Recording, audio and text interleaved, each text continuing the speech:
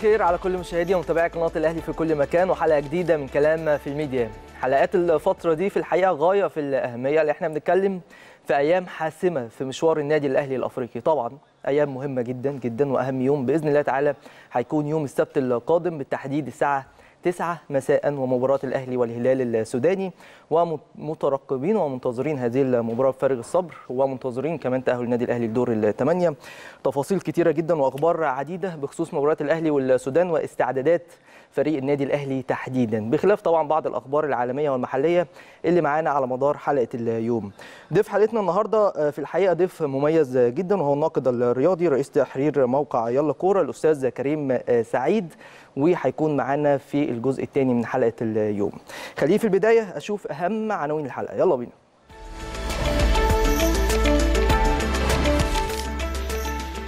السفير المصري بالخرطوم تأمين كامل لبعثة الأهلي في السودان.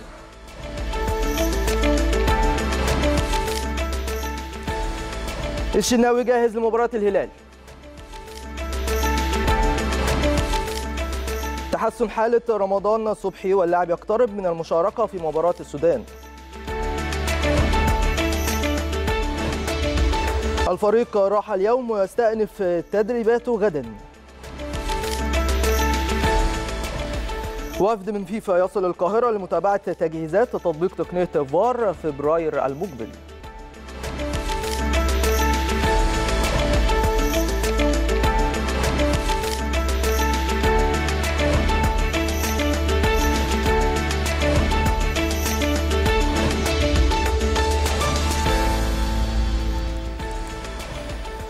طيب بصراحة يعني من امبارح كده كلام بخصوص إيه؟ بخصوص يعني بعض الفيديوهات اللي على السوشيال ميديا وكلام إن دي حرب مش مباراة كورة بعض الجماهير هم قلة قليلة جدا جدا من جمهور الهلال يعني في الحقيقة. وخلينا بس في البداية كده عشان الصورة تبقى واضحة للناس كلها كل الاحترام والتقدير لجمهور نادي الهلال لمسؤولي نادي الهلال للعلاقات الكبيرة والوطيدة بين شعبي مصر والهلال أو الشعب السودان. وده أمر مفروغ منه أمر حتمي. ما فيهوش كلام ما فيهوش نقاش. مفيش أي واحد أو أكتر من واحد حتى يقدروا إن هم يحاولوا يبوظوا العلاقة دي أو يحاولوا يقللوا من العلاقات القوية ما بين مصر والسودان. أنا في البداية قبل ما استفيض في الحديث خلينا أروح سريعا للأستاذ محمد الجازولي الصحفي السوداني ينضم لنا على الهاتف عشان نتكلم معاه بخصوص استعدادات الهلال واستعدادات السودان لاستضافة النادي الأهلي خلال الفترة اللي جاية والمباراة اللي جاية بالتحديد. أستاذ محمد أهلا بيك. أهلا ومساء الخير عليك ومساء الخير على السادة متابعي برنامج كلام في الفيديو ولك أستاذ أمير وللساده ولكل الشعب المصري الصحفي وجماهير الأهلي العريق.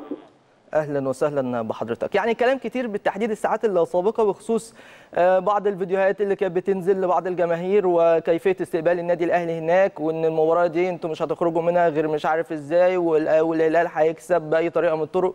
والفيديوهات اللي بتعمل إثارة وبتحاول تخلي المباراة دي توديها في اتجاه حرب مش مباراة كورة. رأيك إيه؟ دي حاجات طبعا عاديه من من بعض المشجعين. طبعا أنت عارف انه التشجيع في الهلال والمباراة يعني مباراة كبيرة بتاع الهلال والأهلي فريقين في قمة وادي النيل هم ناديين شقيقين.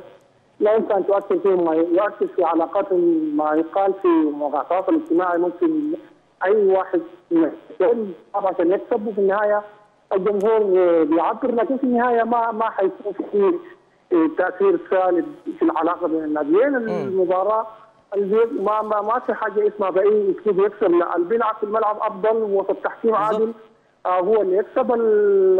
التجمير الموضوع كله ما عنده علاقة بالاهلي بل احتجاج صارخ وصريح على الحكم. المغرب رضوان جيد. على كل الموضوع على الحكم. يدعى الأهلي على الحكم. مم. يعني ليه دايما يعني ده ده بخصوص ملف الحكم ده بخصوص ملف الحكم. كان في اعتراض رسمي من قبل إدارة الهلال السوداني في بيان رسمي امبارح بالليل بخصوص حكم المباراة. لكن بخصوص العلاقات أنا بالتحديد عايز أتكلم على العلاقات ما بين جماهير الأهلي والهلال السوداني العلاقات ما بين الشعب المصري والشعب السوداني قبل مباراة مهمة زي دي. طبعا هي مباراة حاسمة في كرة القدم مباراة حاسمة في بطولة دوري أبطال أفريقيا. لكن تبقى العلاقات كما هي علاقات وطيدة بين الشعبين.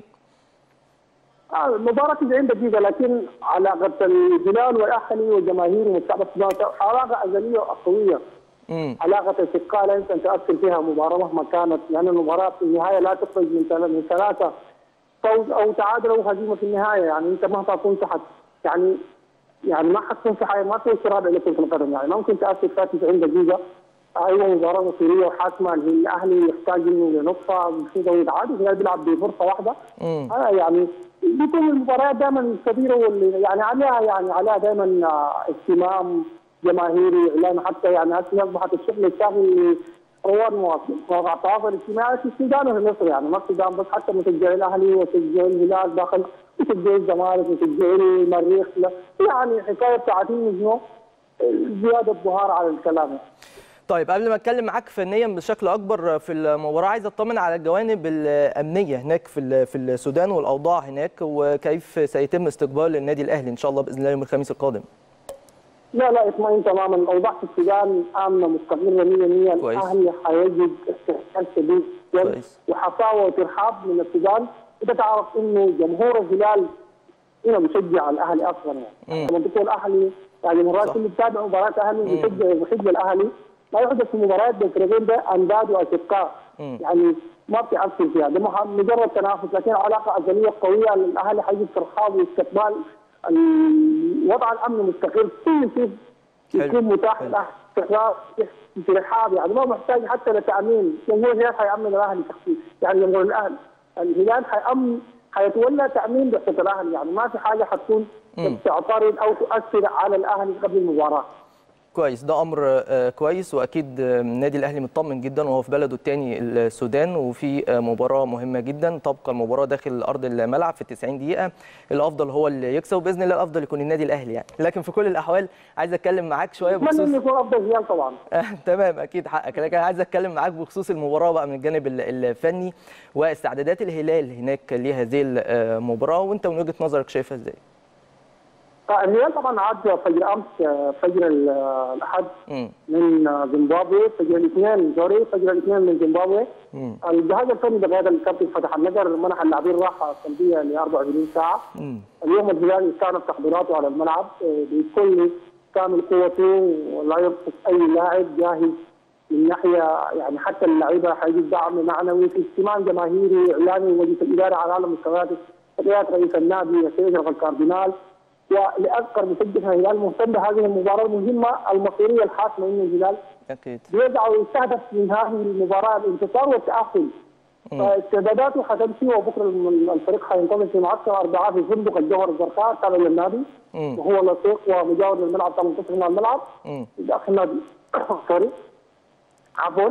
اتفضل فثبات طيبه جدا. الهلال ابتدت في مباراه بلاتيهم لاعبين المحور أهم لاعبين في الهلال في الوسط كانوا قايدين اللي هم نصر الشقيره وابو عادل عبد الله مباراه الاهلي إن شاء الله. مم. طيب هل هي مفاجأة بالنسبة للمتابعين وجماهير الهلال تحديدا هناك في السودان المستويات اللي بيقدمها ال- الهلال في دور المجموعات خصوصا في ظل تعاقب الأجهزة الفنية وعدم الاستقرار الفني بالنسبة للفريق؟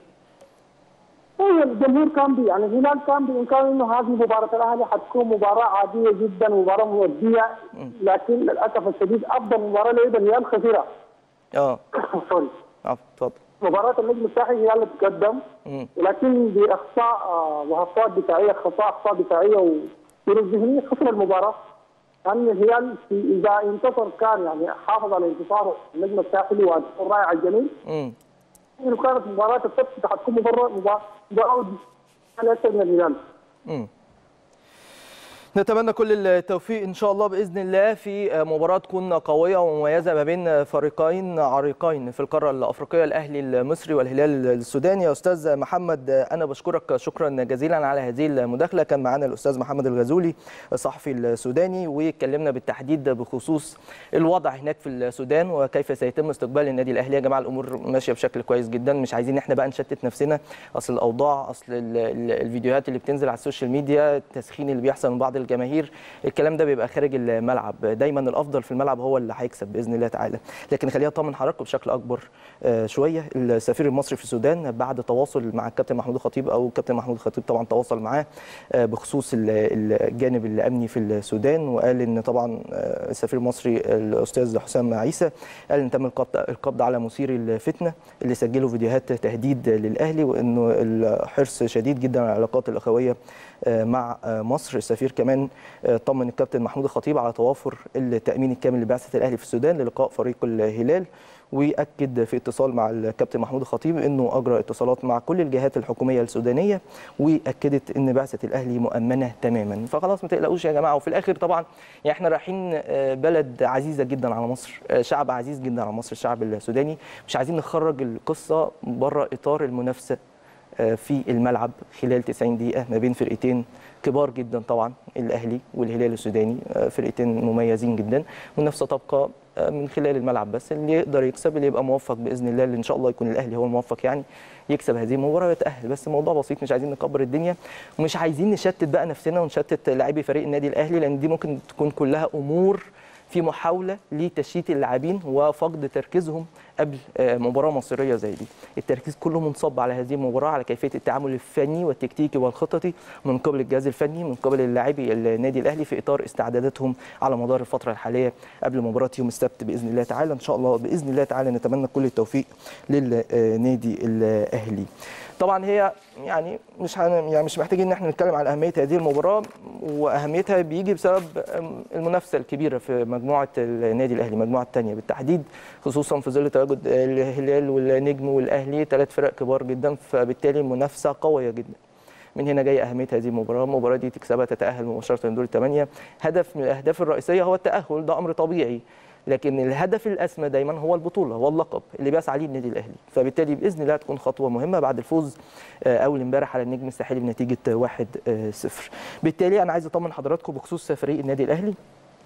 النهارده الفريق آه، راحه آه، قرار من الجهاز الفني براحه اللاعبين من التدريبات وده في إطار أيضا الاستعداد ولتجنب الإجهاد اللي ممكن يكون بيتعرض ليه لاعبي النادي الأهلي خلال الفترة الماضية وبالتحديد في ظل ضغط المباريات سواء محليا أو افريقيا وفي ظل كمان المجهود الكبير جدا اللي بذل خلال مباراة النجم الساحلي الأخيرة واللي قدر النادي الأهلي يفوز آه، فيها بنتيجة 1-0 فبالتالي من هنا كان في قرار راحة اللاعبين من التدريبات اليوم.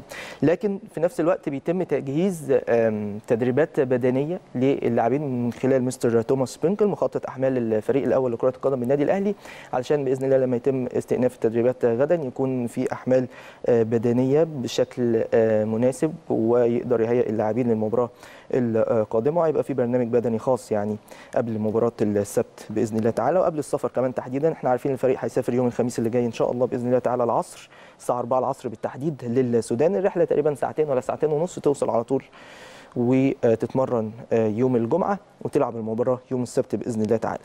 فيما يتعلق بأخبار بعض لاعبي النادي الأهلي وبالتحديد يعني كلنا قلقنا على الشناوي بعد ما اتصاب في المباراة الأخيرة أمام النجم في آخر خمس دقائق كده لكن قدر يتحمل على نفسه ويكمل المباراة.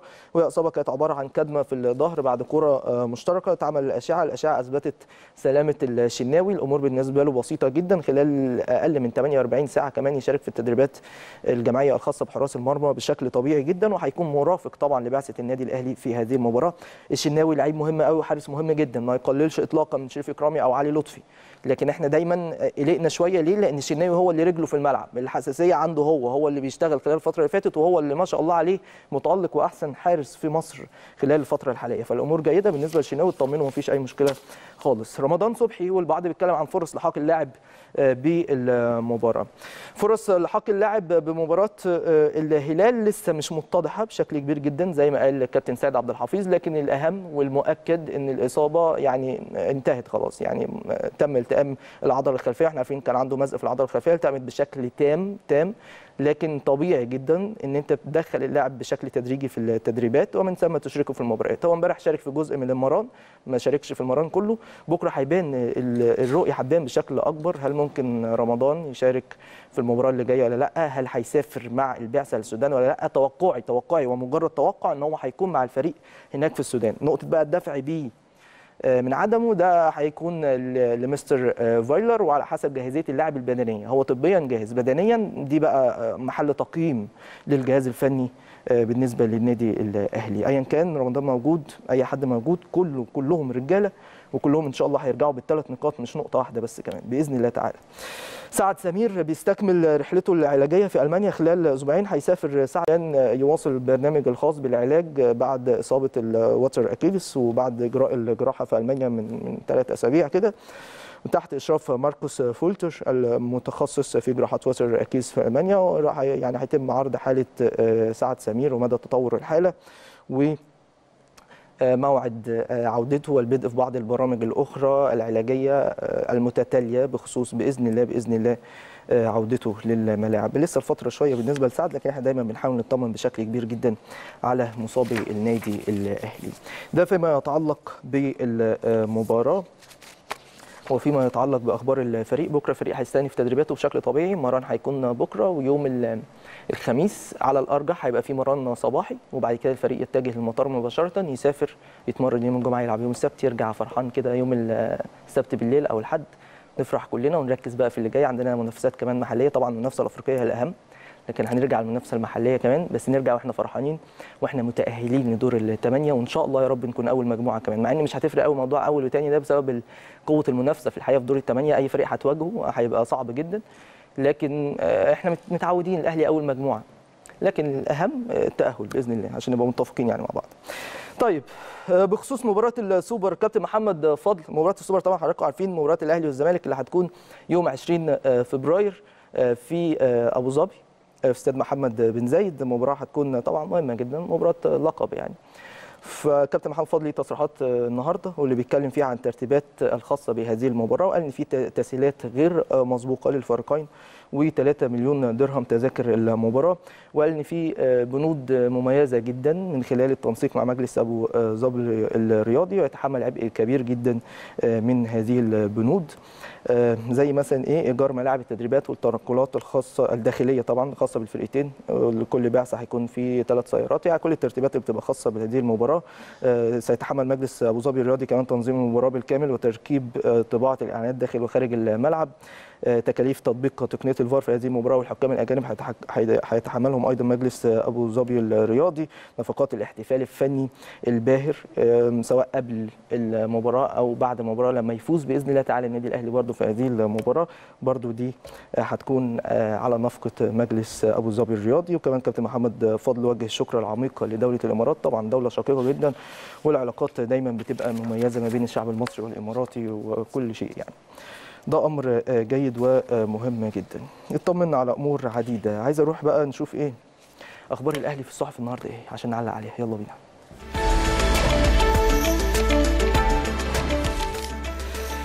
الأهرام. الخطيب رئيسا لبعثة الأهلي في السودان. رئيس النادي للاعبيه. مباراة الهلال مصيرية وتحتاج إلى التركيز التام. الجمهورية. بدأت أو بدأت الاستعدادات مبكرا الأهلي جاهز لاستطلاع هلال السودان. الأخبار؟ فايلر لا تسألوني عن الغائبين أمام النجم. الأهلي لا راحه إلا بعد موقعة السودان مشاركة رمضان أمام الهلال غامضة واطمئنان على حالة الشناوي. الاخبار المسائي لا وقت للراحة. الأهلي يرتب أوراقه لموقعة الهلال الحاسمة وفايلر يترقب موقف الشناوي روزل يوسف فاضل على الحلو. نقطة. المسا الخطيب رئيسا لبعثة الأهلي في السودان فايلر يحشد أسلحته من أجل الهلال العنيد. إكرامي بديلا للشناوي في حالة عدم الشفاء. تجهيز رمضان صبحي. للأخبار المسائي حسابات معقدة خبراء الحذر والتسجيل المبكر مفتاح الشياطين للفوز على بطل السودان.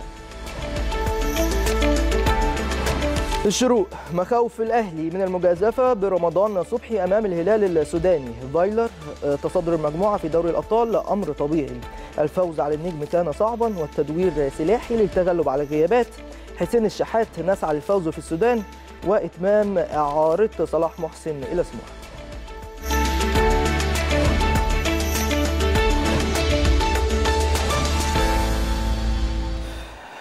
طيب يعني الكلام كله في الحقيقة خلال الفترة الحالية أكيد أكيد عن مباراة الأهلي والهلال السوداني وهي مباراة مصريه بالتالي الصحف كلها بتتكلم عن هذه المباراة وكيف يستعد النادي الأهلي لمباراة يوم السبت بإذن الله تعالى. خلينا نبتدي بالأهرام. والأهرام قالت إيه؟ قالت إن الخطيب رئيسا لبعثة الأهلي في السودان بالمناسبة الأمر ده ما تمش حسمه بشكل رسمي. يعني بشكل رسمي لسه يعني مش معروف مين اللي هيبقى رئيس بعثة لكن الأقرب الأقرب فعلا الكابتن محمود الخطيب.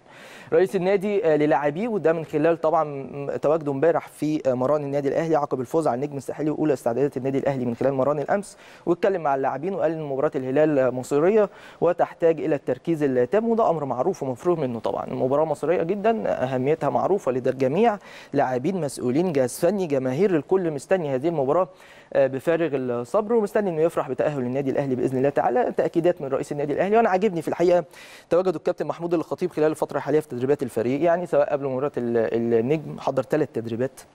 وما كانتش بتحصل يعني ما حصلتش قبل كده. آه كان ممكن يحضر تدريب قبل مباراة مثلا أو حاجة أو مران واحد يعني قبل أي مباراة. لكن المرة دي حضر ثلاث تدريبات حضر كمان المران اللي بعد مباراة النجم على طول. فده أمر جيد جدا ويدل على الاهتمام بالفترة الحالية ومدى أهميتها بالنسبة للنادي الأهلي وجماهيره ككل في الحقيقة. طيب تعالوا نروح للجمهورية. والجمهورية بتتكلم على إن الاستعدادات بدأت مبكرا. مش مبكرا ولا حاجة. هو كده كده ماتش من السبت خلاص استعدادات متواصلة بالنسبة للنادي الأهلي. الأهلي جاهز لاستطلاع هلال السودان. إن شاء الله جاهزين وواثقين في فريقنا وفي جهازنا الفني كل الثقة وعارفين إن شاء الله إن هم هيفرحونا ويرجعوا منتصرين ومعاهم ثلاث نقاط كمان مش نقطة واحدة من مباراة الهلال، إحنا عارفين إن إحنا عندنا فرصتين، يعني بصراحة عندنا فرصتين للتأهل، يا إما تتعادل يا إما تكسب وتتأهل. ففي كل الأحوال إحنا دايما متعودين من النادي الأهلي من لاعبيه من رجاله على الفوز على النقاط الثلاث بتخش أي مباراة عايز تكسب ما فيش بديل تاني. حتى لو عندك فرصة إنك تتعادل وتحقق هدفك كمان. لكن إصرار كبير جدا على الفوز إن شاء الله بإذن الله في هذه المباراة لأن الفوز هناك في ظل هذه المنافسة هيدي رسائل هامة جدا جدا لكل الفرق اللي متواجدة في بطولة دوري أبطال أفريقيا. مستنيين الرسائل دي توصل ومستنيين بإذن الله هذه المباراة فارغ الصبر. ماشي. تعالوا نروح للأخبار.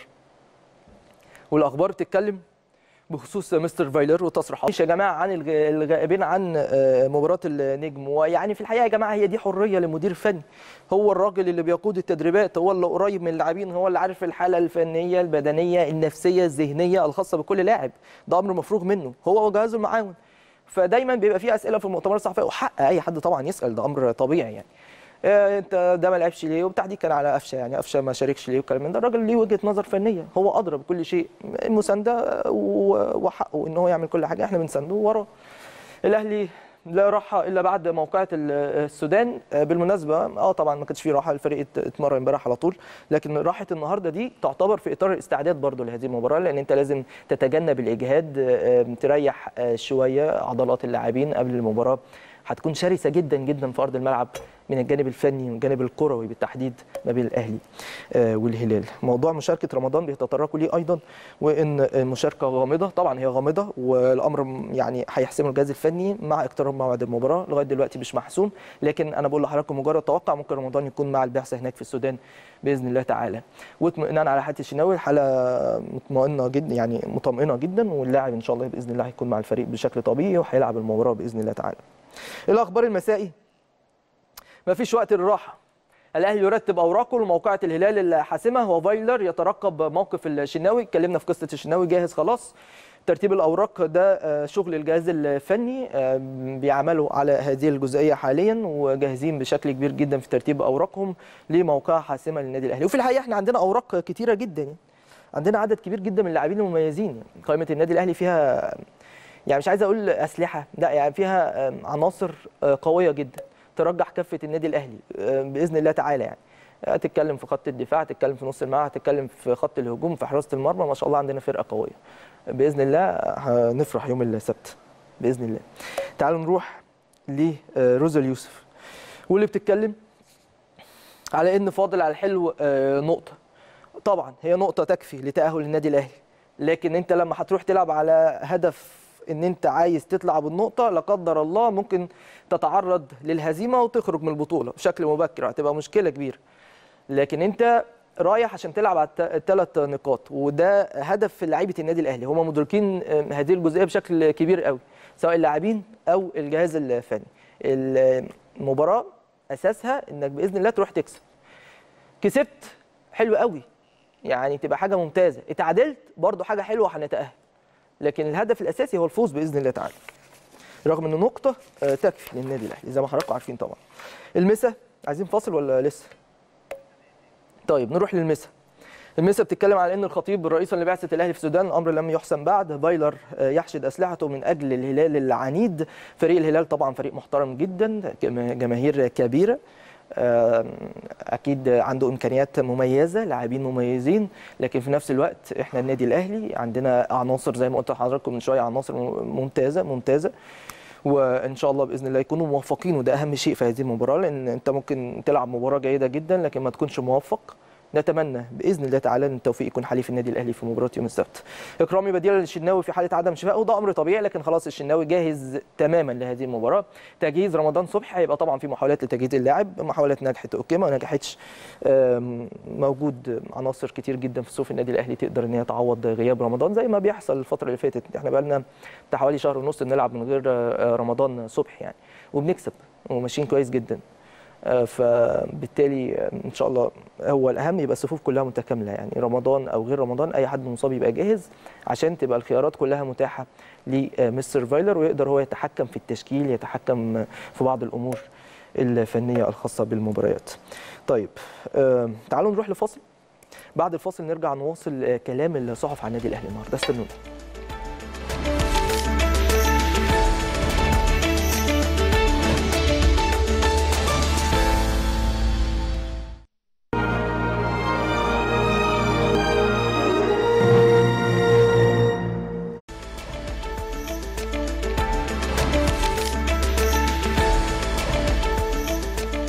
طيب نكمل أخبار الأهلي في الصحف النهارده ونروح للأخبار المسائي بالتحديد ونتكلم على إن الحسابات معقدة ده أمر حقيقي. بعض الخبراء زي اللي حضراتكم شايفينهم في الصورة كده طبعا كابتن كبير كابتن محمد يوسف كابتن معتز ايدو اينو أيضا لاعب النادي الأهلي السابق وإن هم حذروا من هذه المباراة وقالوا لازم يكون في حذر وإن يكون التسجيل مبكر وده هيبقى مفتاح مهم جدا للنادي الأهلي للفوز على بطل السودان. وفي الحقيقة هو أهم شيء أهم شيء الهدوء. إن إحنا نبقى هاديين في الملعب. ما نتأثرش بالجمهور طبعا الغفير اللي هيحضر من الهلال لأن المباراة بالنسبة لهم يعني مباراة كبيرة يتاهلوا لدور الثمانيه ودي حاجة برده كبيرة بالنسبة لهم ده أمر طبيعي يعني. آه، فأنت لازم تقدر تتعامل مع الضغوط اللي ممكن تقابلها في الملعب. تتعامل مع بعض الأخطاء اللي ممكن تبقى موجودة من الحكام اللي إحنا متعودين عليه في أفريقيا يعني عامة. آه، تقدر تتعامل في الأمور دي كلها. آه، لو كنت هادي هدوءك هو اللي هيخليك تعرف تتعامل في كل هذه الضغوط. ممكن إحنا للأسف في مصر يعني الفترة اللي فاتت مش متعودين على إن اللعيبة بتلعب قدام جمهور كتير وكلام من ده فمش متعودين على الضغوط دي. لكن لاعب النادي الأهلي لازم يكون متعود ما فيهاش هزار. هو أنت طالما بتلعب في النادي الأهلي طالما لابس التيشيرت بتاع النادي الأهلي فأنت بالنسبة لك الضغوط دي ما تفرقش معاك خالص. وده اللي إحنا منتظرينه بإذن الله تعالى من خلال المباراة يوم السبت الجاي لكن أهم حاجة طبعا الهدوء بجانب كل الكلام طبعا بتاع الخبراء الكبار يعني. خلينا نروح للشروق. والشروق بي- بيقولوا إيه؟ بيقولوا إن في مخاوف في الأهلي من المجازفة برمضان صبحي أمام الهلال السوداني. لو في مخاوف أو اللاعب مش جاهز بنسبة 100% مش هيتم المجازفة بيه أمر طبيعي يعني ما فيهاش نقاش. فايلر آه، بيتكلم على إن تصدر المجموعة في دور دوري الأبطال أمر آه، طبيعي. وده فعلا أمر طبيعي بالنسبة للنادي الأهلي لكن بسبب صعوبة المجموعة فمش محسوم لحد دلوقتي. نقدر نحسمه بإذن الله خلال المباراة اللي جاية. الفوز على النجم آه، كان صعب. ده لسه كلام مستر فايلر وده كان واضح جدا خلال الملعب لأن النجم طبعا فرقة كبيرة جدا آه، في تونس وفي أفريقيا. وبيتكلم في جانب التدوير وإن التدوير ده سلاحه للتغلب التغلب على الغيابات. آه، سياسة. عند المدير الفني ممكن حضرتك تكون متفق معاها ممكن ما تبقاش متفق ده طبيعي جدا ما حدش بيتفق مع أي أفكار بنسبة 100% لأي مدير فني يعني. لكن في كل الأحوال إحنا لينا إيه؟ لينا نتائج بالتحديد في مرحلة زي دي. يعني المرحلة دي بصراحة كده عشان نتكلم مع بعض بصراحة الأداء مش هيأكل عيش. طبعا نفسنا في الأداء. مع النتيجة ما حدش يقدر يقول غير كده. نحب نتمتع بالأهلي نحب نتمتع باللعيبة الموجوده القدرات الموجوده دي نحب نتمتع بفكر مدير فني زي مستر فايلر. ده أمر مفروغ منه. لكن في مرحلة زي دي لو أنا لعبت وما كسبتش هنسى الأداء الأداء مش هيفرق معايا. آه، مراحل صعود وكلام من ده لأ. فالنتيجة هي ال- اللي تفرق. النتيجة هي اللي هتحقق لي أهدافي. ممكن إن أنت تهتم بالنتيجة على حساب الأداء لأن هو ده الأهم خلال المرحلة الحالية. فمش شرط ننتظر الأداء بالتحديد في المرحلة دي. ممكن بعد كده نطالب بالأداء لما يكون في أريحية شوية في المباريات في ضغط المباريات في, في المنافسة في كلام من ده. لكن دلوقتي مستنيين النتيجة بإذن الله تعالى. آه، حسين الشحات وكان ليه تصريحات بعد المباراة وبيقول إن إحنا بنسعى للفوز في السودان ودي طبعا الثقافة اللي أكيد موجودة عند لعيبة النادي الأهلي. آه، صلاح محسن راح اعاره لسموحه نتمنى له كل التوفيق ويرجع أفضل بإذن الله للنادي الأهلي خلال آه، الفترة الجاية بعد ست شهور مع سموحة. نتمنى له إن هو يهدف طبعا مع سموحة ويبقى ماشي كويس جدا. أخبار الأهلي في المواقع إيه؟ نشوفها. يلا. اليوم السابع الأهلي يطلب تأمين بعثة الفريق في السودان خلال مواجهة الهلال. الوطن سبورت فايلر يتسلم تقريرا عن الأوضاع الأمنية في السودان. 1 3 مفاجأة فايلر يهدد لاعب الأهلي بعد مواجهة النجم الساحلي. سوبر كورة سموحة ينعش خزينة الأهلي ب 2 مليون جنيه نظير إعارة صلاح محسن ومنعم يلا كورة شكوك حول احقيه سليم في المشاركة أمام الأهلي والهلال يحسم الجدل. صدى البلد الهلال السوداني يغري لاعبي الفريق بالدولارات للفوز على الأهلي.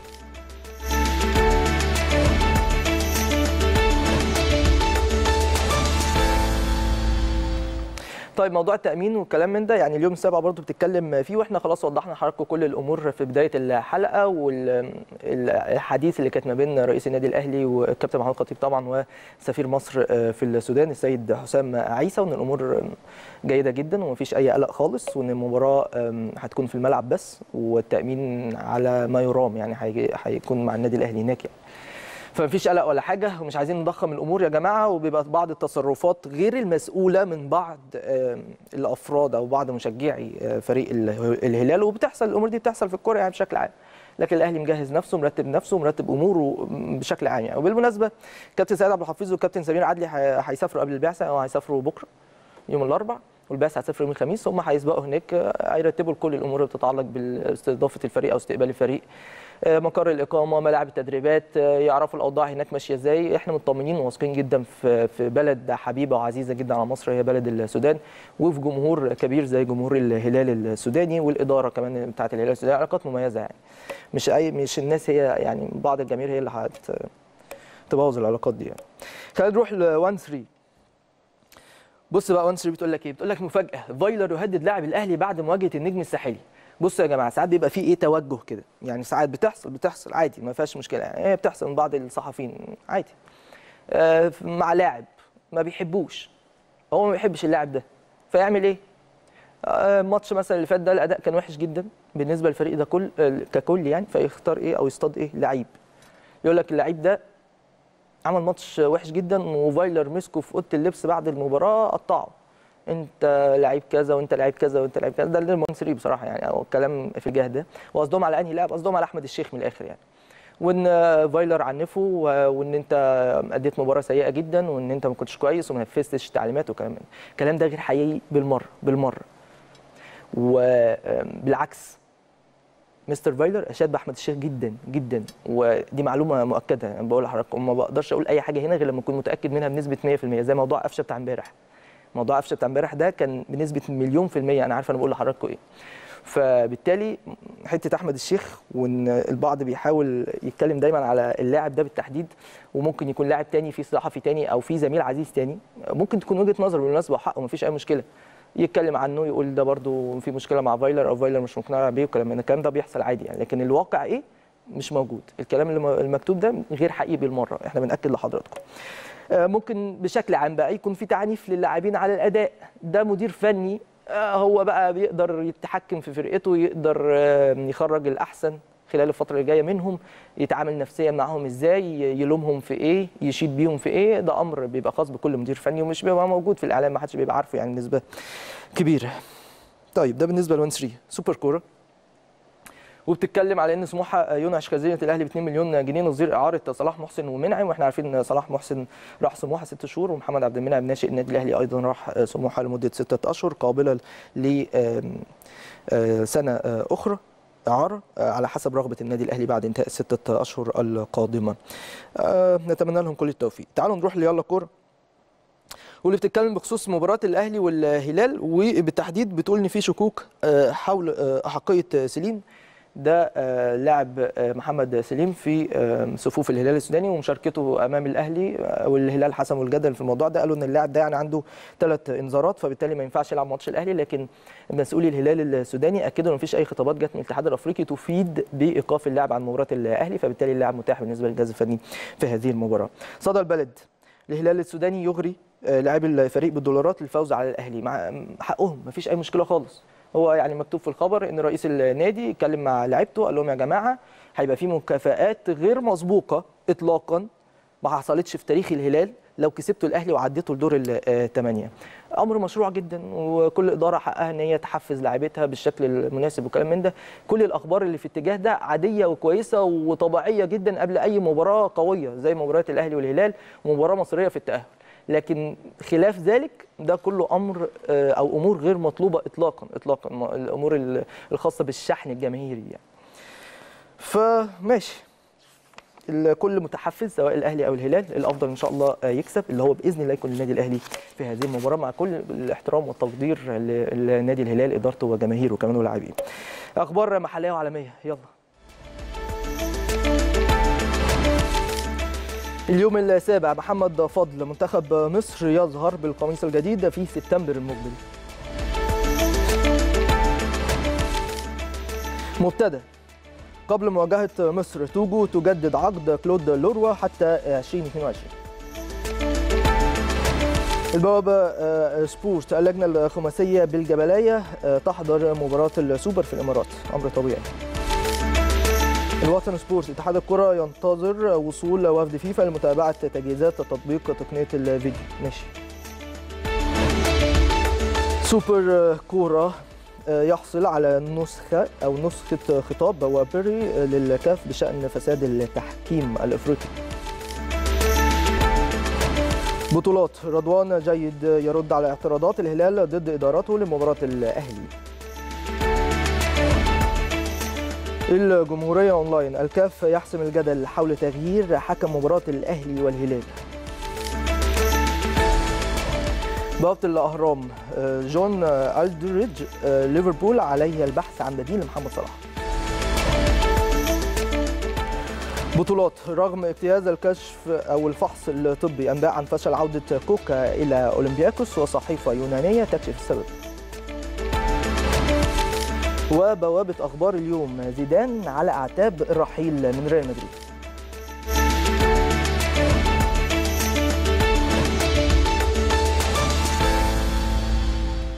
طيب سريعا قبل ما أطلع فاصل خليني آخد موقع بطولات الأول. لأن عايز أتكلم بالتحديد في اللي يخص النادي الأهلي خلال الأيام الحالية. يعني آه هنتطرق لأخبار محلية بأمر طبيعي وأخبار عالمية كمان لكن ده شيء مهم. رضوان جيد بيرد عبر بطولات على اعتراضات الهلال ضد إدارته لمباراة الأهلي. وإحنا عارفين كان في اعتراض رسمي من الهلال امبارح في بيان رسمي. بخصوص الحكم المغربي رضوان جيد وإن هم يعني مش عاجبهم الحكم وكلام من ده. الراجل قال إن الأمور دي طبيعية بتحصل في كرة القدم ما عندوش أي مشكلة. قال إن هو اتبلغ رسمي من الاتحاد الأفريقي بإدارته لهذه المباراة وإن هو هيكون موجود وهيدير هذه المباراة وهيكون على مسافة واحدة مع الفرقتين يعني وده أمر طبيعي يعني. نتمنى له كل التوفيق بصراحة وإن الأفضل فنيا هو اللي يكسب اللي هو بإذن الله برضه يكون النادي الأهلي. تعالوا نروح للجمهورية أونلاين. والكاف يحسم الجدل حول تغيير حكم مباراة الأهلي والهلال ومصدر في الكاف أكد للجمهورية أونلاين إن مفيش أي نية لتغيير حكم المباراة وإن الحكم ده جيد وبيقدم مستويات مميزة جدا على مدار الفترة اللي فاتت. عايز آخد خبر محلي سريع. تعالوا ناخد البوابه سبورت وإن اللجنة الخماسية بالجبلاية تحضر مباراة السوبر في الإمارات وده أمر طبيعي جدا. وبالمناسبة يا جماعة خليني أقول لحضراتكم التنسيق ماشي بشكل جيد جدا ما بين اللجنة الخماسية ما بين مجلس أبو ظبي الرياضي آه، كل الأمور والتجهيزات الشركة الراعية كمان التجهيزات ماشية بشكل جيد جدا لمباراة السوبر. هيبقى في حفل قبل المباراة حفل فني مميز جدا واللي اقرب هيكون الفنان الكبير محمد رمضان هو اللي هيحيي هذا الحفل بخلاف الجوائز المالية الخاصة بكل فريق. يعني الفريق الفائز هياخد 500 ألف درهم الفريق الخاسر هياخد 300 ألف آه، درهم ويعني كل هذه الأمور يعني. طيب نتمنى المباراة تخرج بالشكل الجيد وإن شاء الله نتمنى برضو الأهلي يكسب بإذن الله. مع كامل الاحترام والتقدير طبعا نادي الزمالك نادي كبير ومحترم وجماهير كبيرة ومحترمة بكل تأكيد. تعالوا نروح لخبر عالمي سريع وخبر غريب شوية بالنسبة لي. بوابة أخبار اليوم بتقول إن زيدان على اعتاب الرحيل من ريال مدريد. آه ممكن نتفاجئ شوية بخبر زي ده لكن هم بيقولوا إن في في الكواليس أمور بتحدث ما بين زيدان وفلورنتينو آه، بيريز رئيس نادي آه، ريال مدريد وإن العلاقة مش على ما يرام خلال الفترة الحالية. ليه؟ لأن خلال الفترة اللي فاتت كان دايما بيطلع كده من أحد المصادر القريبة جدا من آه، رئيس النادي إن ريال مدريد بيرغب دايما في التعاقد مع جوزيه مورينيو وده أمر يعني بيغضب زيدان نسبيا. كمان اللي مضايق زين الدين زيدان عدم تدعيم صفوف الفريق بالشكل المطلوب. إحنا عارفين رغبة زيدان المعروفة اللي كانت في التعاقد مع بول بوجبا نجم مانشستر يونايتد وما نجحش فلورنتينو بيريز إن هو يستقدم هذا اللاعب. بخلاف طبعا الأنباء اللي خارجة إن بعد ديشامب مدير الفني لمنتخب فرنسا هيكون زين الدين زيدان ورئيس الاتحاد الفرنسي بيرجح كفة زيدان في حالة رحيل ديشامب. فهنشوف الفترة الجاية إيه اللي هيحصل بخصوص زيدان لكن هو ماشي بشكل كويس جدا في الحقيقة الفترة دي مع ريال مدريد. وأنا على المستوى الشخصي أكيد بتمنى لهم كل التوفيق. هروح لفاصل سريع. بعد الفاصل فقرة حوارية مهمة جدا جدا جدا مع ضيف عزيز الأستاذ كريم سعيد الناقد الرياضي ورئيس تحرير موقع يلا كورة والمحلل الفني كمان للمباريات وللنادي الأهلي. هنتكلم معاه بالتحديد خلال حلقة اليوم على رأيه في النادي الأهلي خلال الفترة اللي فاتت وايه المطلوب من النادي الأهلي في المباراة اللي جاية أمام الهلال. هذه المباراة الحاسمة ومصريه في مشوار الأهلي الافريقي استنونا بعد الفاصل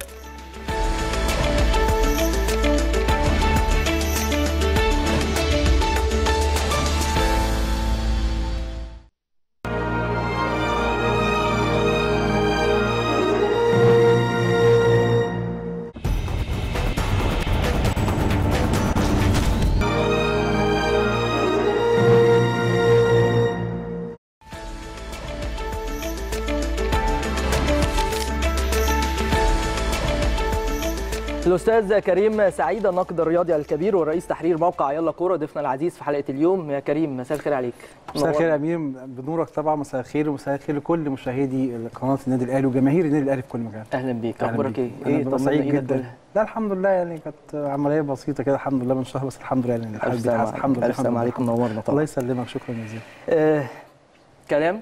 طبعا عن النادي الأهلي خلال الفترة الحالية وهذه طبعا. الفترة الحاسمة بكل تأكيد في مشوار الأهلي الأفريقي خلينا. نبتدي كده بماتش النجم كان اول امبارح رأيك إيه في نعم. الماتش آه، من الجانب الفني نعم. أداء اللاعبين أهمية الفوز تحديدا كمان يعني طبعا شوف آه، طبعا آه، أحلى حاجة في في فايلر إن هو واخد ثقة الجمهور من بالظبط من بعد ماتش انتاج الحربي عشان بالظبط بعد احسبها ماتش ماتش انتاج الحربي اللي هو. ال 4 0 آه طبعا ماتش السوبر اداله نادي الزمالك اداله boost جامد ده دفعة حلوة قوي طبعا طبعا. أو يعني. أول معرفة ليك مع الجمهور بتكسب ماتش الديربي. وبتكسب بطولة بس أنا قعدت أتابع لأن أنت عارف النهارده أنت يعني إيه بتاخد ردود الأفعال من ال social media أكتر يعني طبعا. إحنا ما بقاش عندنا يعني الجمهور في الاستاد مش زي زمان عشان نقدر ناخد. منه مم. ردود أفعال فبالذات بعد ماتش انتاج الحربي والنادي الأهلي يكسب فرقة بيقودها الكابتن مختار برباعية آه، دي. كانت جديدة آه، ما احناش. متعودين عليها يعني. مم. فبدأ فايلر ياخد الثقة فبالتالي الناس بقتش يعني تركز معاه في التشكيلات زي مثلا فترة لاسارتي فاهم كنت تحس الناس مم. واقفة لاسارتي على الواحدة صح. وبيتابعوا التشكيل ومين دخل ومين خرج لا مع فايلر بعد ماتش انتاج الحربي بقت الناس تقول له لا سوق وإحنا بدأنا نثق فيك. إن هو الراجل فعلا بصراحة بيعمل شغل كويس جدا. طبعا أهم حاجة في ماتش ال- النجم كان طبعا أكيد يعني استبعاد آه، محمد مجدي قفشة قبل المباراة وطبعا الاستبعاد الفني وأكيد الجهاز الفني هو حر تماما. هو أسباب طبعا وأنا عجبني جدا تصريحه في المؤتمر الصحفي إن هو لما قال أنا استبعدته فني بس أنا مش محتاج إن أنا أقول لك بالظبط. السبب. دي حاجات بتاعت بتاعت شغلي. صح. وإحنا حتى في أشغالنا في حاجات بنقولها صح. وفي حاجات ما. بنقولهاش التصريح ده هو ده اللي أنا عايز أقف عنده لأن أنا إحساسي إن الراجل ده لحد ما اداريا وانضباطيا زي مانويل. إحساسي الشخصي يعني ده أول تع... يعني بقالوش هو ما قعدش نفس الفترة بتاعت مانويل أكيد ولكن مانويل جوزيه طبعا بتكلم عنه لكن فايلر بيعجبني فيه إنه بيوصل ال message وهو هادي ما عنديش مشكلة انض- انضباطيه من الجانب التكتيكي يعني قصدك والاداري والإداري. والإداري طبعا. الاثنين بس أنت بتتكلم بالتحديد بخصوص قفشة يعني؟ طبعا. آه آه طبعا طبعا طبعا. أنا عاجبني جدا اسلوب تعامله وعاجبني جدا إن هو بس في هو لو في أزمة أصلا يا كريم. حتى even آه لا مش هو محتاجين أصلا مش لا عشان بس. يبقى توضيح للناس هو ما كانش لا. فيه أزمة ولا حاجة وإن اللاعب ما. لعبش ماتش خماسي وكلام من ده عشان الأمر ده يبقى يعني في كل أكيد الأحوال يعني. في كل. أحوال المعلومات أو سبب الاستبعاد أكيد ان من حق الناس إنها تسأل. كان في playmaker. بيلعب أساسي بشكل آه،. مستمر. حتى ما عادش على الدكة ولكن خرج من ال 18 أنا بحيي فايلر.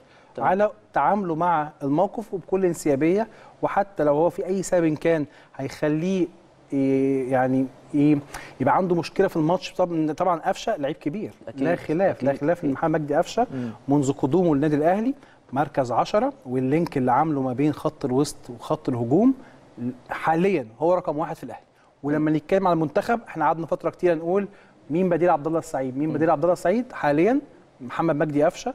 هو اللي بيلعب المركز ده بشكل مميز جدا سواء في الأهلي وفي المنتخب إن شاء الله لسنوات طويلة بإذن الله محمد مجدي هيبقى هو اللي واخد المركز ده نروح للماتش الماتش أكيد طبعا ماتش صعب وأكيد تاني النقطة دي مهمة قوي لعيبة النادي الأهلي ولعيبة مصر كلها النهارده يا أمير عندها يا عيني تذبذب في المستوى من حتتين بتقعد فترة تلعب ماتشات بدون جمهور. وفجأة يجي لك ماتش صعب جدا وجاي لك فيه 10000 أو 15000 فدي نفسيا وطبعا أي دكتور نفسي ممكن تبقى أنت تستضيفه أو تاخد منه مداخلة هيقول لك طبيعي.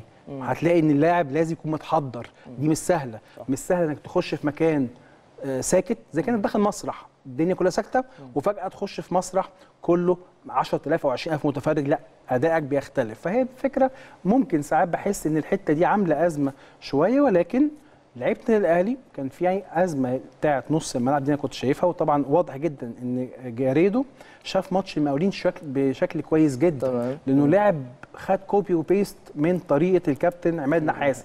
هي هي بالظبط. نفس الماتش نفس ونفس الملعب نفس كل حاجة.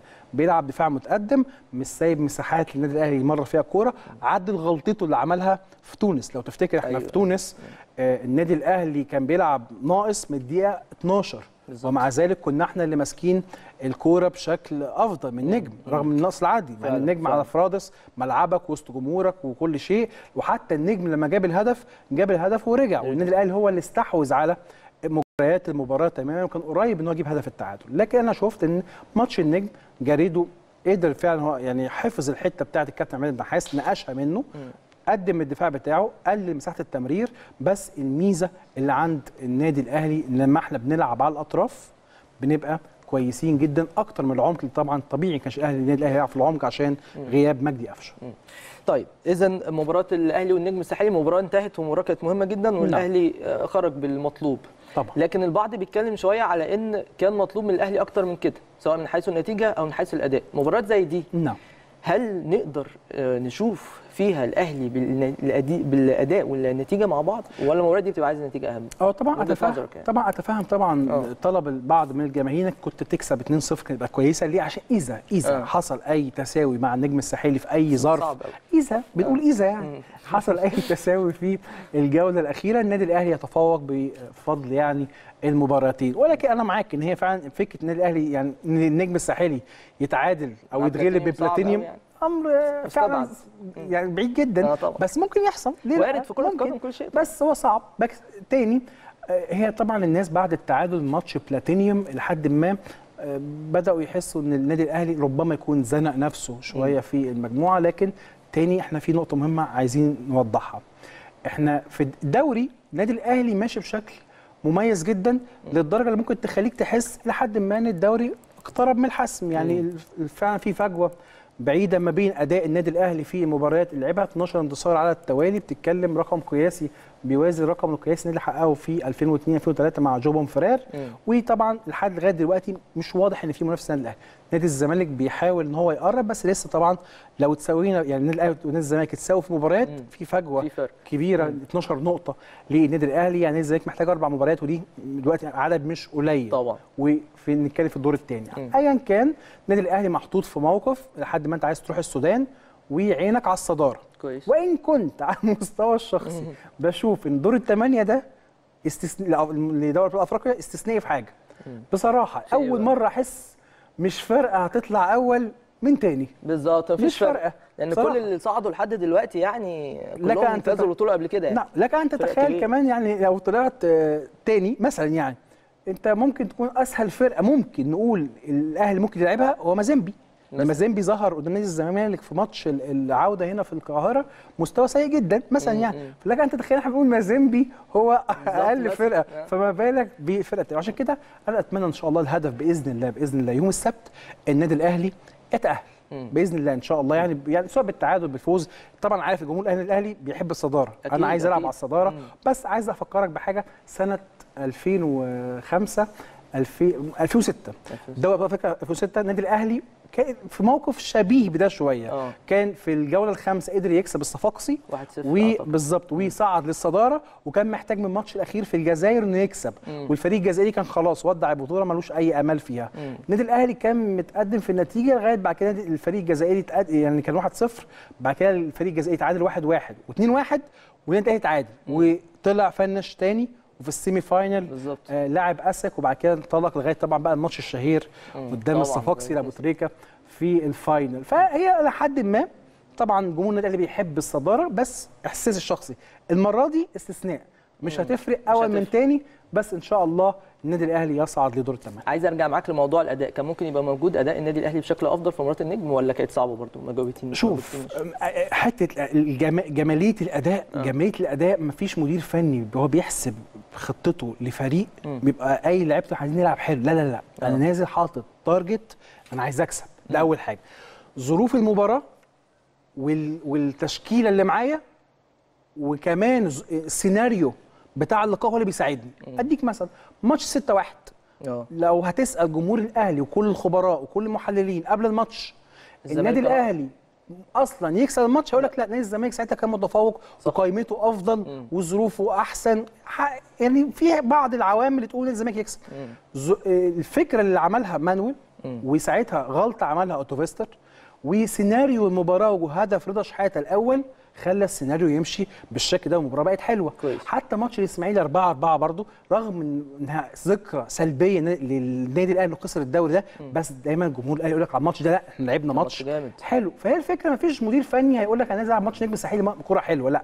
في ظروف. أول ظرف أنت طبعا ال playmaker زي ما قلنا ال playmaker بتاعك الأساسي خرج فأنت غيرت شوية.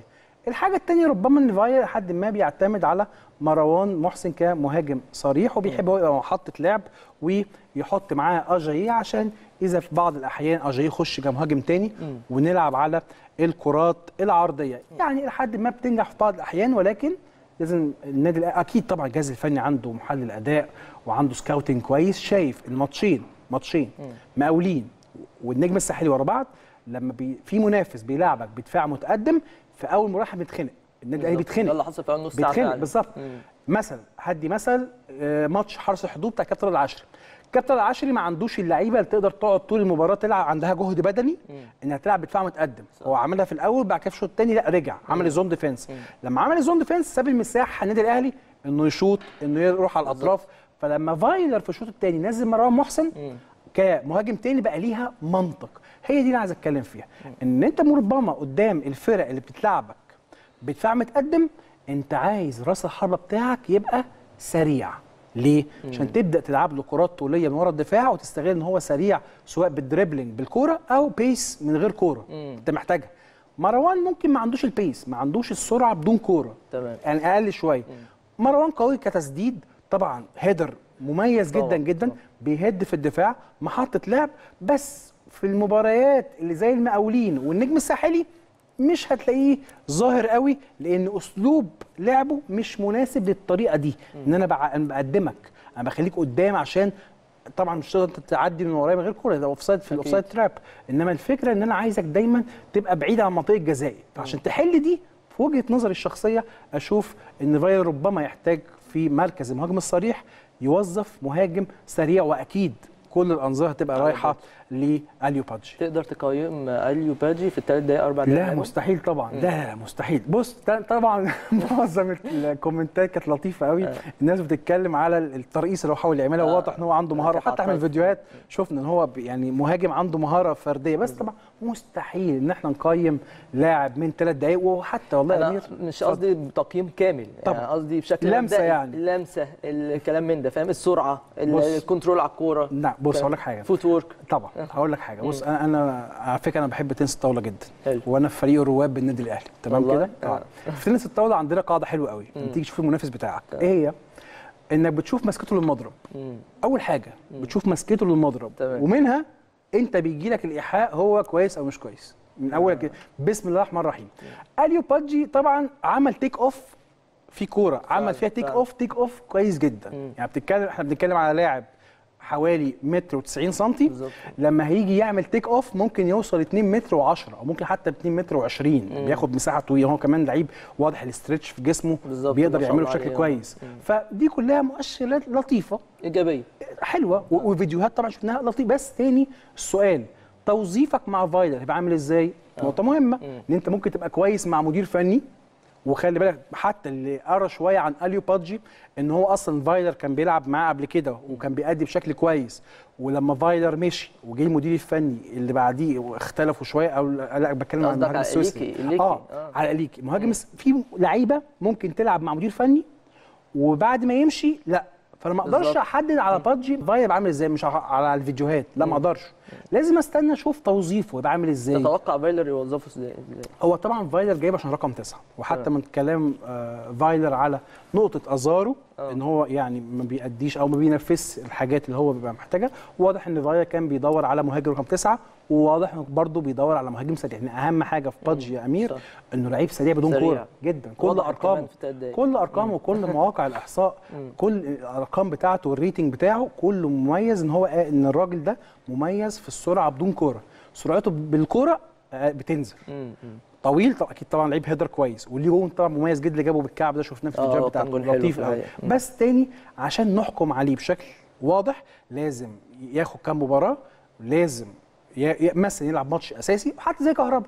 كهربا الناس ممكن النهارده تستنى هو كهربا اللي finish معاه الزمالك بالمستوى العالي. لا لسه. ليه؟ اللعيب لسه داخل على فريق جديد مع عقلية جديدة للمدير الفني وبالتالي لازم تديله وقته عشان يظهر.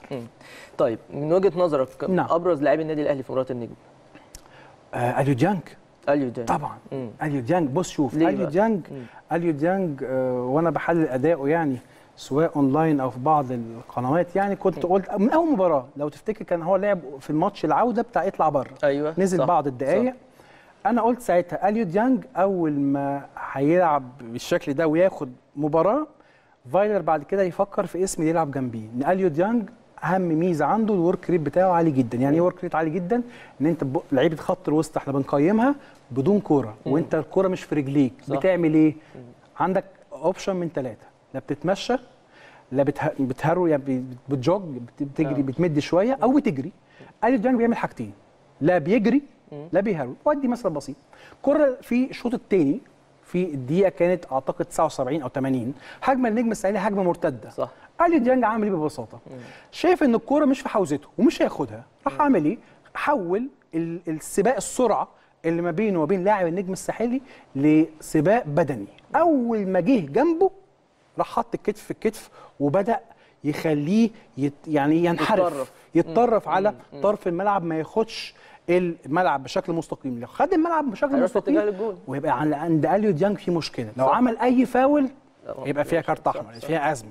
ولعيب ذكي جدا. فعمل إيه؟ بدأ يخليه يتطرف يتطرف يتطرف لغاية لما راح عند الخط عمل ال- ال- القوة البدنية اللي عملها وخلى الكورة تطلع بره. فأنت بتتكلم على لعيب بصراحة في الوقت الحالي هو أساس ارتكاز النادي الأهلي وبيأمن لك أي هجمات آه، عكسية. وعشان كده مثلا في ماتش المقاولين النادي الأهلي أكيد اتضر شوية بغياب آه، اليو ديانج في نص الملعب لغاية طبعا لما نزل في الآخر في نهاية المباراة. بس أنا بشوف طبعا إن اليو ديانج في ماتش نجم الساحلي وبصراحة في ماتشات كتيرة الجميع اتفق إن هو نجم الفريق في هذه المباراة. الأهلي بيفتقد رمضان صبحي؟ آه طبعا بدون شك. بيفتقد طبعا طبعا رمضان صبحي هل طبعا نجح في التعامل مستر فايلر في غياب رمضان صبحي على مدار الماتشات اللي فاتت؟ جدا. من جميع الجوانب؟ جدا. جدا. جدا. ليه بقى؟ وأنا شايف الحتة دي إن أحمد شيخ اتظلم. اتظلم جدا. آه لأحمد اشرح لي. الشيخ. شوف فايلر واضح جدا من ساعة ما جه النادي الأهلي عنده آه، فكرة معينة بالنسبة للطرفين. فايلر من المديرين الفنيين اللي بيحب الطرفين يبقوا مختلفين في أسلوب اللعب. بمعنى إيه؟ إحنا بنتكلم إن ال winger الم- المهاجم بيبقى فيه مميزات. السرعة طبعا. وفي المهارة. أكيد. المو... ال winger السريع أكيد بتبقى أنت عامل حسابك إنك تحطه على full back بطيء. مثلا يعني. لو نفتكر آه الكابتن ياسر ريان. الكابتن ياسر ريان حتى في طريقة 4 4 2 كانت تلاقيه هو أساس الهجوم أكتر من ألو... من المهاجم اللي بيلعب قدامه. ليه؟ الكابتن ياسر ريان بيهاجم بطريقة وسرعته بتخليه يتفوق على أي حد وأي حد يحب. طبعا من الشباب الصغير. جدا بصراحة. أي حد من الشباب الصغير يحب يعرف مين هو الكابتن ياسر ريان يخش على يوتيوب بالظبط. ويجيب ملخص ماتش نادي الأهلي ونادي الزمالك موسم آه 98 ماتش 2-1 كان ساعتها الكابتن إبراهيم وكابتن حسام كانوا في الأهلي نعم. هما جابوا الهدفين. وشوف الملخص ده وشوف الكابتن ياسر ريان سرعته كانت عاملة إزاي. فبالتالي أنا بشوف إن فايلر من ساعة ما جه بيعمل حاجتين بيحط على طرف لعيب dribbler سريع كويس. ولعيب skiller لعيب مهاري. تمام. فرمضان صبحي واخد الجزء المهاري الجزء المهاري. وحسين الشحات ياخد الجزء السرعة. السرعه أو أجي أو ايا كان الطرف الثاني وبالتالي لما غصب عنه طبعا رمضان يعني ربنا يشفيه اتصاب. كان كل فكره إنه يجيب لعيب skiller. أنا عايز أجيب لعيب مهاري. مهاري. مش هجيب لعيب أحطه زي التاني. ويبدأ يلعب يشوف. مثلا في النجم الساحلي وجدي كشريده لعيب سريع. يبقى ما أحطش معاك لعيب سريع. أحط عليك لعيب مهاري. شفت مثلا آه، لعيب بطيء يبقى أنقل. انقل وبدل. عشان كده الناس ساعات بتستغرب ليه فايلر بيقعد يقلب في آه. الاثنين ال winger لا هو بيشوف. بيلعب من الثانية مثلا. مش عارف مكانه كده. ببساطة هو بيقعد يحسب مش بيحسب بس أداء اللعيب بتاعي لا بيشوف أداء المنافس. لو لقى إن ال full back وقع طب غير والعب أنت عليه. وأدي مثل بسيط جدا في ماتش طنطا. ماتش طنطا أحمد الشيخ كان في بعض الكرات كان بيأخر الهجمة شوية. في فيها أحد أهداف النادي الأهلي أحمد الشيخ لما لف بلا حطه في situation واحد على واحد أيوة، أيوة. ولف صح. لمدافع وعمل ال cross. هو ده اللي فايلر عايزه. ببساطه في لا في كرات يا أمير مفيش لعيب هيعدي منها غير لما يكون مهاري. واحد على واحد. ونفتكر مثلا رمضان صبحي أيام مارتن يول. آه. رمضان صبحي يتحط في موقف واحد على واحد على. الخط. شكرا. انتهى الموضوع لأن ساعتها برضو رمضان خلي بالك كمرونة جسدية كان خفيف من مش زي دلوقتي. لأن طبعا تدريبات إنجلترا إنجلترا بتبني عضلات انت فاهم بتزود عضلاتك فبالتالي باخد من المرونة الجسدية. بس يس برضه يبقى رمضان عنده بعض المهارة الفردية شفناها طبعا مع المنتخب الأولمبي في في التصفيات. وبالتالي بشوف إن أحمد الشيخ مأدي دور البديل رمضان صبحي بشكل جيد. هو بس بشكل جيد. آه طبعا. أصل في. انتقادات كتير جدا ما أنا لسه بقول لك هو مظلوم مظلوم. ما هنتكلم على مثلا ماتش النجم الساحلي. يا جماعة لازم تبص. طبعا لازم يا جماعة نبص برضو على أحمد الشيخ عمل إيه في الهدف. لا ده أحمد الشيخ فتح sprint صح. وهو winger لنص الملعب. وخلي بالك كان عنده تعليمات إنه يلعب playmaker بالظبط. كان بينزل كتير جدا للدو- لمركز 10 وهو اللي قطع الكورة ورقص ترقيصتين فعلا. بعد ما قطع فعلا. الكوره طب حسن هنا سؤال. لو في لعيب تاني غير أحمد الشيخ في الموقف ده هل تضمن إن المراوغة تبقى ناجحة؟ لا، لا شرط. تضمنش. فبالتالي أحمد الشيخ الدور اللي عامله له فايلر وبيدوه له في المحاضرات عمل جزء كبير منه. مفيش لعيب بياخد 10 من 10 صح مفيش. لعيب في العالم ياخد تقييم 10 10 إلا ميسي إلا. كريستيانو آه. إلا رونالدو الظاهرة. دول الناس دي آه الناس دي استثنائية. إنما أحمد الشيخ مثلا في الدور ده عامله بشكل جيد لكن يعيب أحمد الشيخ في إيه؟ إيه بقى؟ لما يقف على الكورة كتير. ودي مثل برضه. ماتش المقاولين. في الشوط الثاني المقاولين بيضغط عشان يجيب هدف التعادل. قبل الهدف التاني وقبل طرد رامي ربيعة. الكورة اتردت لهجمه مرتده النادي الأهلي. واللي يلاحظ طبعا اللي بيحلل أداء النادي الأهلي من بداية الموسم النادي الأهلي هو أسرع نادي في مصر بيعمل هجمة مرتدة. أول ما الكورة بتتخطف صح. في المس- في في المنطقة دي بتلاقي أربع لعيبة بيفتحوا sprintات. أحمد الشيخ كانت عنده الكوره كان مين فتح له sprint؟ مجدي قفشة. فتح سبرنت سريع جدا. والنادي الأهلي كان رايح في موقف 3 على 2 بس كانت طلب حاجة واحدة. إن أحمد الشيخ قطعت تباصي. قطعت تباصي أحمد الشيخ. وقف. لما وقف لعيب المقاولين بدأ أكتر من التفكير مم. ضغط عليه وممكن كمان تشوفوها في الملخص على الماتش. فلعيب المقاولين ضغط عليك خلاص الهجمة ماتت. هي الهجمة دي لحظة. هي دي النقط اللي أحمد الشيخ ممكن طبعا من بعض الفيديوهات ممكن تقطع له ويشوفها وإن شاء الله يحسن الأخطاء دي. لكن هو لغاية دلوقتي ماشي بشكل مقبول. وعشان كده صعب جدا على فايلر إن هو يخرجه من أي تشكيل أساسي. طيب آه، بداية فايلر مع النادي الأهلي الاشادات كانت كبيرة جدا بيه. طبعا. الكام ماتش اللي فاتوا الكلام ابتدى يتغير نسبيا نعم. عايز آخد يعني تقييمك لمستر فايلر والفارق ما بين الأهلي محليا وإفريقيا من وجهة نظرك نعم شوف طبعا طبعا كامل الاحترام لكل وجهات النظر والجمهور له طبعاً، كامل طبعاً، الحق طبعاً. ان هو أيوة، يقول. وجهة نظر سواء بالنقد أو. بالسلب هو حر يعني أنت بتشيد بحد عايز تنتقده أنت حر تماما. ما فيش أي مشكلة. خالص ولكن إحنا لازم نتكلم برضو كلام موضوعي وأدي مثل بسيط النادي الأهلي مع فايلر في الدوري إحنا شفنا البداية مع الدوري مع محليا يعني ما كناش لسه. دخلنا في المشوار الأفريقي. فلو تشوف الفرق بتتعامل مع النادي الأهلي في بداية الموسم عادي. تكملة للموسم اللي فات. آه okay النادي الأهلي اسم كبير بس مش هنقفل. هنلعب ماتش مفتوح. والمثل على كده ماتش إنتاج الحربي. كابتن مختار لعب ماتش مفتوح. النادي الأهلي ساعتها وال- والفكر بتاع فايلر بدأ يتسرب للعيبة وبدأ يمشي بشكل جيد. وصلوا بيه القمه الانتاج الحربي بيخسر من النادي الأهلي 4-0 أربعة. نتيجة أنا عمري ما شفتها في حياتي. بعد المباراة دي كل أندية مصر المحلي دق الجرس. لا لا لا stop خلي بالك. لا لازم بقى نعمل حساباتنا ونغير فكرنا. طبعا نعمل إيه؟ zone defense ما تفتحش مع النادي الأهلي. هتفتح هنتضرب. بسرعات. فبالتالي بدأت الفرق تغير من الفكر بتاعها وبدأنا نلاحظ النادي الأهلي كان بيخلص المباراة في الشوط الأول بدأ يتأخر لحد ما لدقائق والشوط الثاني. وشفناها طبعا المثل الأكبر الكابتن طارق العشري وما. أحلى من الكابتن طارق العشري نيجي نتكلم على ال zone في defense الجانب الدفاعي طبعا. طبعا. فبالتالي فايلر طبيعي جدا جدا يا جماعة إن يحصل بعض التغير في الشكل اللي قدامك. لكن ما تقدرش تقول إن النادي الأهلي أو لعيبة النادي الأهلي بقى مستواهم وحش لا. لا ما أنت ما بتلعبش نفسك.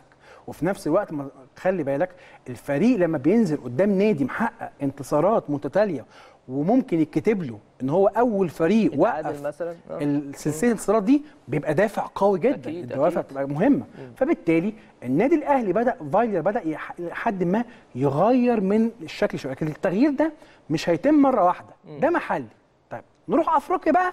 لا هنا هنستوب. نقطة مهمة بقى. في إيه بقى؟ أفريقيا إحنا بقالنا كذا سنة يا أمير بنلعب بدون جماهير تمام كده. ولازم الناس تعرف إن جزء الجماهير في الملعب ده له تأثير معنوي ونفسي عند اللعيبة اللعيبة نفسها ما بتحسهاش. مثلا نادي الأهلي وأندية مصر عبر التاريخ لما كنا دايما نوصل لماتش final في بطولة قارية كنا كده خلاص موضوع ماتش موضوع منتهي. مع الجمهور. انسى موضوع منتهي. إحنا كسبنا سواء أهلي زمالك مقاولين كل أندية. مصر كانت بتوصل لل final تكسب. لكن إحنا من 2015 لما نيجي نبص كده ونحلل هنلاقي لا في في هنا رقم جديد أزمة. نادي الزمالك لعب final 2015 خسر. صح. النادي الأهلي لعب في two finals ورا بعض. 16 ده و17 قدام الترجي وقدام الوداد خسرنا. النادي الأهلي كمان الهزيمة بتاعت سان داونز ماتشات الساعة 3 العصر مشكلة. عندنا فيها أزمة. لا يبقى بقى نبدأ نحلل. الفني لا مش هنحلل الفني. استنى بقى فني دلوقتي. لا عايزين نحلل الأول الأمور الأساسية اللي قبل المباراة. يبقى إحنا كده عندنا مشكلة. هل إحنا لما بنلاعب مباراة بنلعب مباريات جماهيرية خارجيا بيبقى عندنا أزمة عشان إحنا مش متعودين؟ يعني خلي بالك في مصر لما النادي الأهلي يروح إسماعيلية ويلعب تحت ضغط جمهور سيبك نتيجة الماتش بس تاخد خبرة. طبعا. اللعيب نفسه بيلعب تحت ضغط. وبيستحمل. لما تروح مثلا المحلة تروح اسكندرية بورسعيد. كل المباريات دي بتديك خبرة في التعامل تحت الضغط الجماهيري. بمعنى إن أنا النهارده رحت لعبت الماتش أنا مستعد. ولو تفتكر مستر مانويل جوزيه كان بيعمل حركة حلوة قوي. أول ما يروح لماتش وعارف إن في جمهور كتير وفي ضغط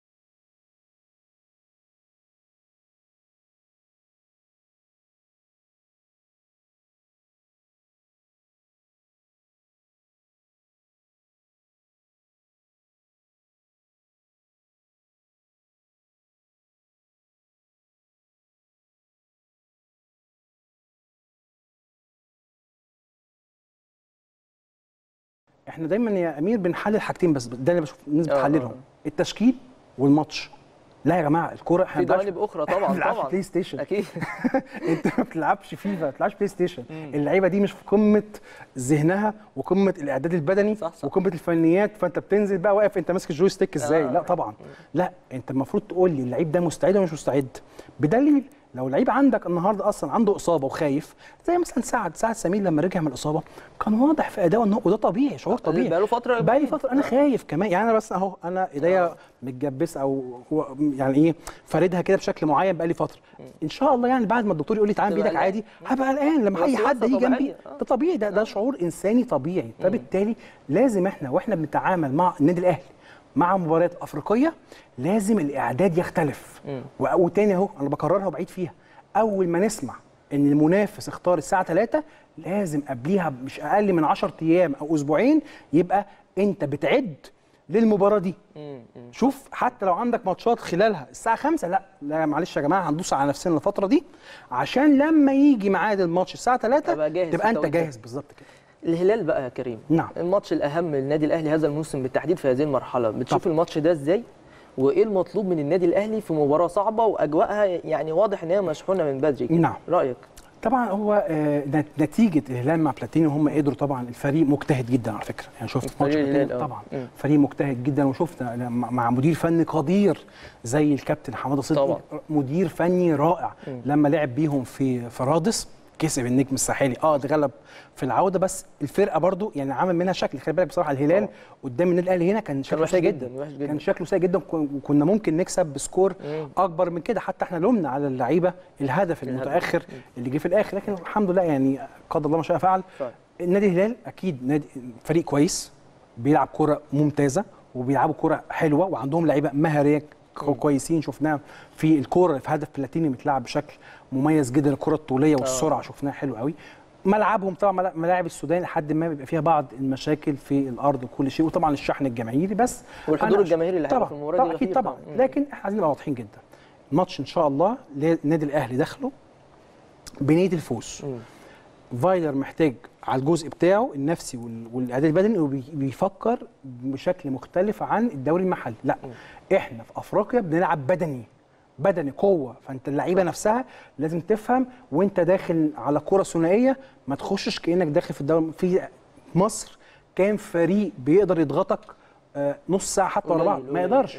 لكن الهلال هيفضل ضغطك الهلال وأنا متأكد الهلال هيبص على ماتش النجم الساحلي هيلعبونا بدفاع متقدم. ففايلر كل ده محتاج يفكر فيه. على الجانب بقى اللي أنت بتتكلم عليه الشحن وهذه الأمور قرار سفر الكابتن محمود الخطيب كرئيس للبعثة من أجمل من أجمل القرارات والمسؤولية اللي أنا آه، سمعتها هيبقى في مهم فعلا لو سافر جدا. هيبقى جدا جدا جدا. ليه؟ واحد هيفوق الل- اللعيبة. خلاص رئيس النادي مسافر معانا هو رئيس البعثة. طبعا. فلو طبعاً. سمحتوا بقى نلتزم بالجدول المحطوط. لو الجدول محطوط ننام الساعة 7 بالليل لا لو سمحتوا ننام الساعة 7 بالليل. مم. وأتمنى أتمنى رجاء شخصي أتمنى يعني. طبعا في السفريات الخارجية موضوع التعامل مع ال social media والموبايلات وال tablets والحاجات دي كلها تبقى ممنوعة قبل الماتش يمكن بيوم كمان. مش هقول لك حتى بنص يوم لا بيوم كامل. مفيش مشكلة لما نستغنى عن الحاجات دي يوم بس عادي الدنيا مش هيحصل فيها شيء. بس أحافظ على تركيزي بإن أنا أنام بدري قمت بدري حتى لو قمت مثلا على الفجر وصلينا الفجر وبعد كده كملت يومي فالدنيا تبقى كويسة. وأستعد بالشكل كمان لميعاد التدريبات وميعاد الأكل بشكل معين. كل حاجات الإعدادات دي يا أمير حاجات مهمة جداً صغيرة جداً. لكن هي دي بتفرق في الآخر. في فريق بينزل لك بيبقى مستعد جدا ما عندوش مهارات بس عمل الحاجات دي كلها م- بشكل أحسن منك. صح. فتلاقيه أفضل منك. آه أنت عندك مهارة بس أنت مش هتقف. طيب ماشي. أنت أنت عندك أنت بتعرف ترقص؟ أوكي. هسيبك ربع ساعة ترقص. واكسبك في آخر صح، صح. نص ساعة. فهي الفكرة إن إحنا مش عايزين دايما في أفريقيا بيحولونا الماتشات البدنيه بنخسرها. وضيف عليها طبعا الحتة اللي قلت لك بتاعة العامل الجمهور. فبالتالي إن شاء الله أعتقد إن أهمية المباراة والوضع اللي فايلر واللعيبة شايفين فيه الفريق في دوري ابطال هيخلونا نلعب ماتش كويس. الشكل الخططي والتكتيكي الأفضل لمستر فايلر في هذه المباراة من وجهة نظرك؟ ممكن يكون إيه؟ والتشكيل اللي أنت برضو تتوقع إن يكون أقرب بالنسبة للنادي الأهلي في هذه المباراه أو أنسب للأهلي في هذه المباراه هو طبعا ما أعتقدش ما يبقى عند مستر فايلر أي تحركات في الت- التشكيل في المباراة دي عن مباراة ال- النجم الساحلي. بصراحة أليو بادجي بدنيا وذهنيا والدنيا تمام. لو جاهز يلعب. يلعب من الأول. هتكسب فيه منه حاجات كتير قوي بصراحة. حاول إن أنت ما تضيعش وقت. يعني مثلا طبعا الهلال هو ما عندوش حل غير إن هو يكسب. الهلال أكيد. الهلال عنده فرصة أنت واحدة. عندك فرصتين. إحنا عندنا فرصتين. مم. اللي عنده فرصتين عنده عيب واحد إنك ممكن آه، تقعد تفكر كتير. اللي عنده فرصة واحدة أنت ممكن تشوفها ما عندكش غيرها بس ساعات بتبقى ميزه إيه هي؟ إني مش هلعب مش هفكر غير غير فيها صح. إن أنا هكسب. فإحنا عايزين نغيرها. لا إحنا برضو ما عندناش غير. فرصة واحدة. عايزين نكسب. إحنا. رايحين نكسب. مم. فبالتالي لا أنا مش هستناك تضغطني وابدأ اسيء لا لا لا مم. الماتش ده عايز إن إحنا من البداية أنت بت بت بتطلع أقصى ما عندك وأنا بطلع أقصى ما عندي. كويس. وأنا هحاول أعرفك إن مش مش معنى بلعب في ملعبك إن أنا النهارده جاي آخد يعني إيه أقلل مكاسب لا لا لا. أنا جاي أكسب وجاي ألعب على الصدارة. بالظبط. جت يبقى الحمد لله حققت الهدف. قلت لي إن هم هيلعبوا دفاع متقدم. في وجهة نظري فريق آه، الهلال. الحل مع الأسلوب ده يبقى إيه؟ الطرف على الطرف ستريتش الملعب. اوعى اوعى تخترق من العمق آه. اختراق من العمق بطريقة واحدة بس انك فعلا تبقى حاطط مهاجم تسعة سريع وبتلعب له الكوره اللي من ورا المساكين طريقة باص لصلاح لو نفتكر طبعا. لما كان معظم. بالظبط ليه هو كوبر ناس كانت بتنتقده وناس كان بيعمل حاجة حلوة كان بي stretch الملعب. صح. أي فريق يلعبك بدفاع متقدم حط له الجناحين على الخط. تبدأ تتع... تتعبه. ليه؟ لأن الدفاع غصب عنه هيبدأ يفتح. مش هسيبك أنت واقف على الخط وأنا واقف ضامن لجوه فأنت هتاخد المساحة دي. فأنا هضطر كمان أرحل معاك. كل أي دفاع متقدم ضربه بحاجة واحدة. الكرات الطولية وأعمل stretch الملعب. بس لازم الثلاثي الأمامي ال winger اليمين وراس الحربة وال winger الشمال يمتازوا بالسرعة سواء بكرة أو بدون كرة. اسماء التشكيل من وجهة نظرك سريعا. هو نفس تشكيل نفس النجم تشكيل. الساحلي بس أنا أنا هشيل مروان وهحط بادجي لو وهشيل قفشة موجود. وقفشة طبعا هيلعب playmaker طبعا من البداية طبعا. بس، طبعا, آه. طبعا بس كده. لكن الخطوط الباقية زي ما هي زي ما هي. نتمنى كل التوفيق للنادي الأهلي في هذه المباراة بكل تأكيد. يا كريم أنا. بشكرك. شكرا جزيلا نورتنا وشرفتنا. ميرسي جدا يا امين كنت سعيد كنت موجود معاك وأتمنى كنت ضيف آه، خفيف على جمهور النادي الأهلي. أكيد. نورتنا وشرفتنا. شكرا أستاذ كريم سعيد الناقد الرياضي الكبير ورئيس تحرير موقع يلا كورة كان ضيفنا العزيز في حلقة اليوم. واتكلمنا باستفاضة في مشوار النادي الأهلي الأفريقي وكمان المحلي. بالتحديد المشوار الافريقي ده الاهم بصراحة الفترة الجاية. نتمنى كل التوفيق للنادي الأهلي في مباراة الهلال يوم السبت القادم. وهنفضل متواصلين معاكم على مدار حلقات كلام في الميديا على مدار الأيام القليلة القادمة حتى موعد مباراة الهلال. وإن شاء الله يكون خير ويوم سعيد يوم السبت القادم الجاي على آه، فريق النادي الأهلي. دي حلقتنا من كلام في الميديا النهارده. بكرة حلقة جديدة هامة جدا. مليئة بالأخبار الهامة عن النادي الأهلي. استنونا. إلى اللقاء.